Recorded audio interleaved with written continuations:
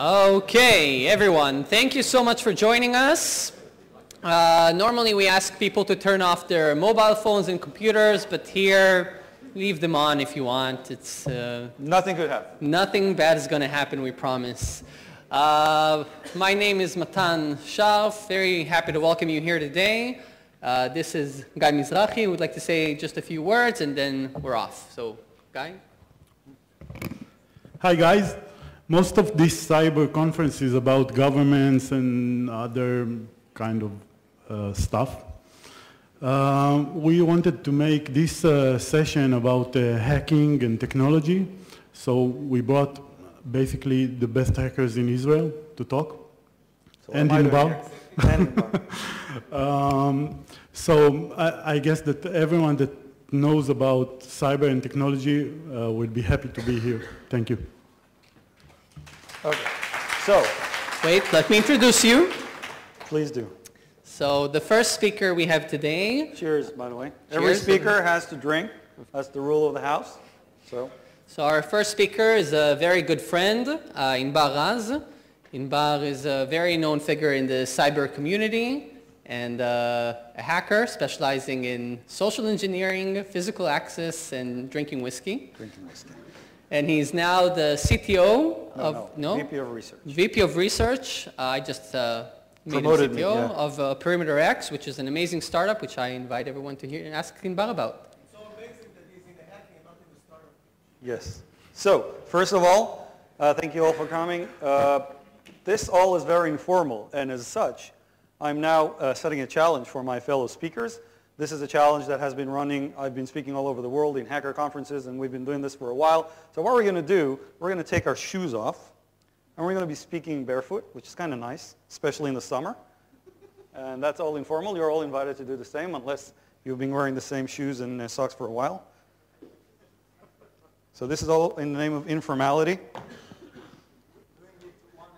If you uh, look at my Facebook photos, you will see photos of me speaking barefoot in Copenhagen just two weeks ago. So, oh, this is so nice.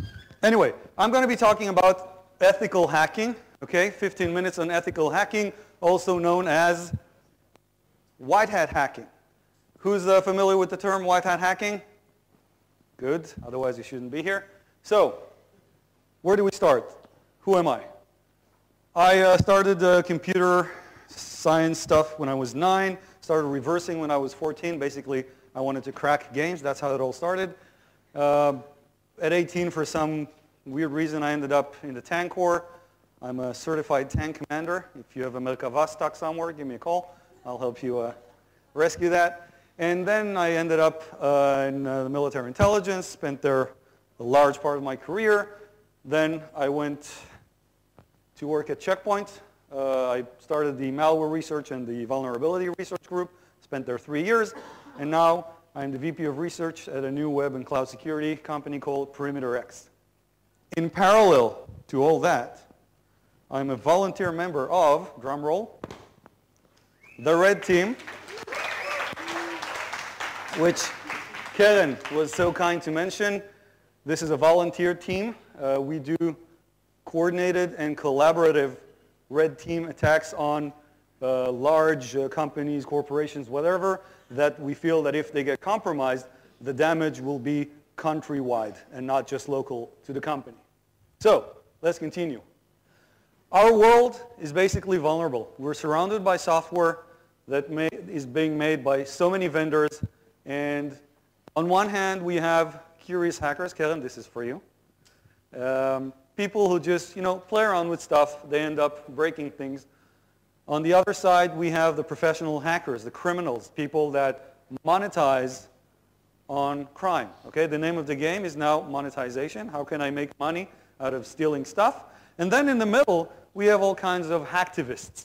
Okay, Syrian Electronic Army, Anonymous. And I left out the nation state because this is a game we don't want to play. The assumption is you can't really beat a nation state, so why bother? It's arguable, but it's out of the scope uh, of this discussion. So that means that someone needs to be doing the same thing and maybe get there first. Okay, what happens if we find the vulnerability first? We can get it fixed, and then there's one less door for the bad guys to walk through. So That thing, turns out, has some problems in it. Just going and looking for vulnerabilities, even if you're a good person, it turns out that it's a little bit more complicated. There are three stages to the process of finding vulnerabilities. It's the finding of the vulnerability, it's the reporting of the vulnerability, and it's the publishing of the vulnerability. And each one of these stages has some points that we need to consider. For example, was it deliberate or accidental? Did I go looking for a vulnerability or did I just accidentally try something and all of a sudden I reached somewhere I shouldn't have? It's not the same thing, okay? Um, did I use specific technique and hacking tools or was I just playing around? If I'm using professional hacking tools, professional penetration testing tools, then it's not as if I was just playing around with some URLs or manually typing uh, what I hope would be SQL injection strings. Okay? It's not the same thing. Um, data access and extraction. Do I access sensitive data? Do I extract it? Do I make copies of it? Okay, it's not the same thing. What happens if I cause damage? Something happened. I'm pen testing somebody else's computer and I did something. Deliberate, indeliberate. What are the consequences? That needs to be thought of. And what's the victim's point of view? I know that I'm a good guy. I know that I'm trying to make things better, but what does it look, look like on the other side? When they're looking at the same situation, what are they thinking? When it's time to report, it's a matter of timing. How quickly do I report? Do I take my time or the minute I, get, I got something, I give them a call or I write them the, the disclosure? Who do I report to? Is it some guy at the IT security? Is it the CISO? Okay. What language do I use? Is it an offensive language, ha ha in your face, or hi, I found something I think you should uh, take a look at, okay? Um, you have to be neutral. If I come to you and I say, so you have a problem, and I have just a product to help you, that may be perceived as extortion. And in fact, any lawyer will tell you that is the wrong thing to do. So you have to be neutral. Hi, you have a problem. It's your problem. You have to solve it. I'm not going to help you. I will give you, though, all the information that I have. And last, do you mention that you're going to publish that? Because that gets people into defense. Oh, you're going to publish that? No, no, we're going to sick our lawyers at you. Do you mention that? Do you not mention that? And then the last stage, the publishing. You want to publish what you did because as a researcher, especially if you're an academic, you know that publications are your merit. If you don't publish anything, you don't exist. Your CV is empty. So what is the timing? Do I wait for the vulnerability to be patched? Do I wait for the patch to be deployed? Okay, what sort of a patch is it? What forum do I publish it in? Is it this local blog post, post with my company? Do I go in a conference? Do I go on stage like here? Do I go to Brian Krebs and have it spilled all over the internet? What is the level of detail? Do I publish a proof of concept?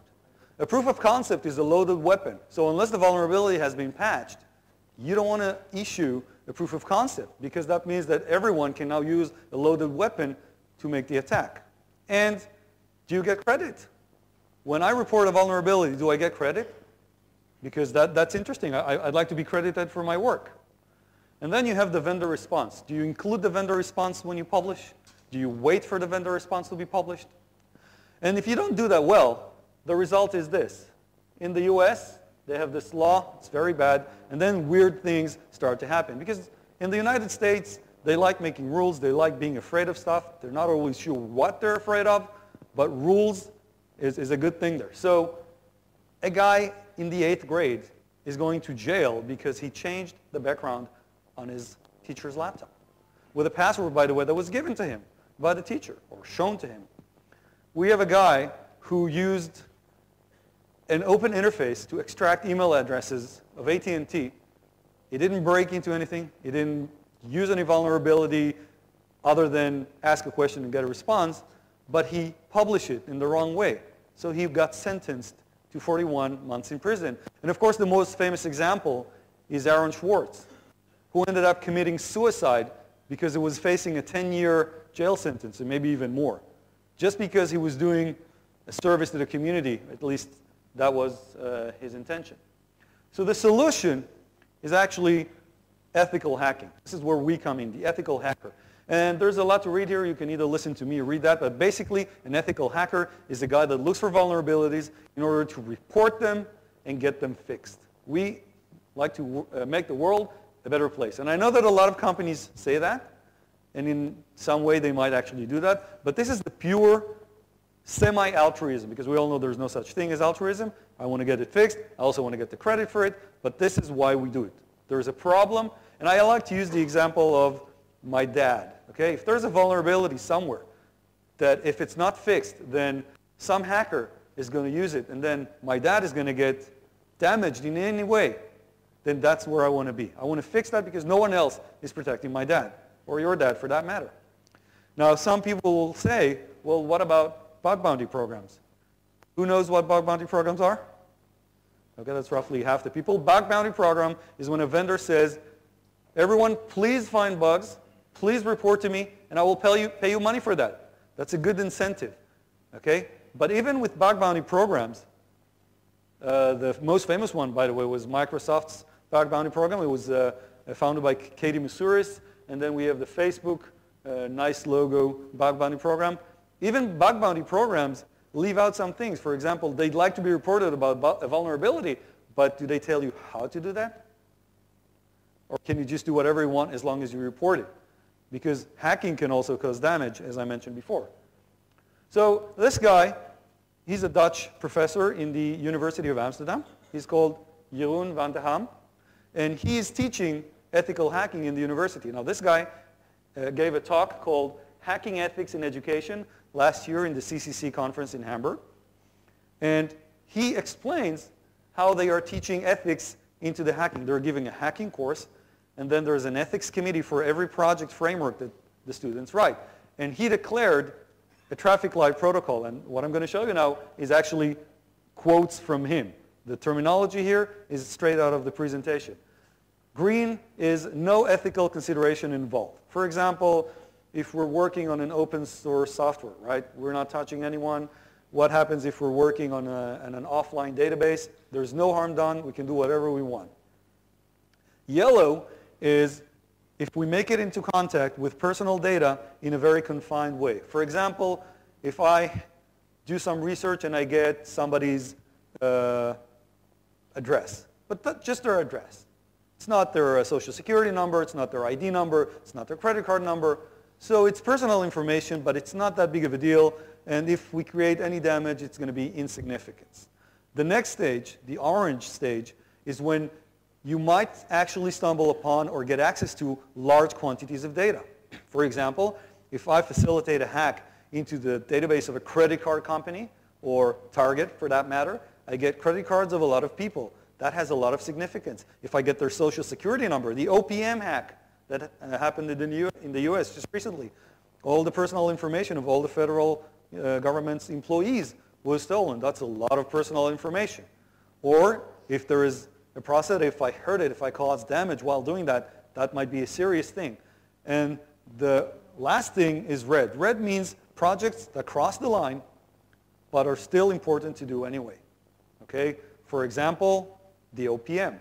If, the, if someone did or if someone had done ethical hacking on the OPM and discovered that they're vulnerable, that is so huge that doing that is actually worth the chance of getting into trouble because it's such a big problem. In April, uh, thanks to Karen, was it, right? Once again, mentioning your name, I got invited to participate in a panel in a conference called GCCS, Global Conference on Cybersecurity, in The Hague. That was organized by the Dutch government. The participants were actually representatives of governments. We had uh, foreign affairs ministers, we had ambassadors, we had chief information security officers for governments. And the conference lasted two days, covered a lot of ground, but I participated on a panel, or in a panel, about ethical hacking. Now, just in case you don't know who's sitting here, this is Katie Moussouris, which I mentioned before. She started the Bug Bounty program in Microsoft. This guy works, I think, at the, uh, who does Zero Day Initiative? Is it HP? HP. Um, this guy here is the national prosecutor in the Netherlands for uh, cybercrime. That is me. This guy, the Dark Tangent, he is the founder of Black Hat and DEF CON, the famous hacker conferences. And here there are two uh, Dutch professors, and this lady works in the Hungarian government. So this is all online. You can look it up. We talked for 90 minutes on ethical hacking, how to do it right, what are the problems that we're facing. And at the end of the conference, we decided to have a follow-up meeting. We went into a room and we created a work group with the purpose of formalizing the process of coordinating disclosures. So we called it the Organization for Coordinated Disclosure, which of course has the excellent initials of uh, OCD. and the purpose of this is to make a process that lets you do it in the right way without hurting anyone and without being hurt. So the resolutions that we had here, we, there, sorry, we had a bunch of those. I'm just going to give three because they're the most important. The first one, create a safe environment and protections for vulnerability finders. We are very vulnerable ourselves. If I report to someone and they don't like it, they can sue me. And I just came to them with, with, a, with a problem that they have, right? I am still at risk. We want to emphasize the, the maintenance of privacy protection for user and personally identifiable information. It's nice that you want to find a vulnerability, but you cannot create a new risk that did not exist before. Stealing the entire database just to prove that there's a vulnerability, that's not the right thing to do. If you can hack into the database and steal just two passwords, it's good enough. It proves the point. And last, reaffirm the principle of doing mutually no harm for security researching and responding to a finder. So once again, I will cause you no harm when I look for the vulnerabilities. You will cause me no harm when I report it because I'm doing it in our both interest. And of course, no good deed goes unpunished. We uh, at PerimeterX actually performed such a research last week, and we did it by the book. We created a project framework, an ethical hacking project framework. We identified the sensitive information. We declared what must not be done. We declared how to take the data from the server, do the processing, immediately dispose of it in such a way that cannot be traced back. We did all that, and somehow we apparently crashed some server. So once that happened, we immediately sent out the disclosure. Okay? And it turned out three days later that the company that was giving the service was actually using a third party. So what we crashed was not the website to which we reported, but actually a third-party vendor. So we contacted them as well. And we sent them an updated version of the disclosure. And then I give the guy a call, and I'm all ecstatic. I'm like, dude, I sent you the report. Did you get it? And he's like, we're on our way to the police. You stole our information. You crashed our website. And I'm like, what? What? Of course, first you hang up, then you call your lawyer. Right? We're a company. We have a lawyer. But to make a long story short, it was a misunderstanding. And if you remember, I mentioned before the, what it looks like, what is the point of view of the other guy? He really felt we were stealing information. He really felt we were out to cause him damage. But once we explained ourselves, then it all went away. So even when you do it by the book, you never know who you're dealing with. Maybe they don't like the attention. Maybe they really think you're lying. Things can, only, can always go wrong, so be prepared. Have an attorney. Thank you.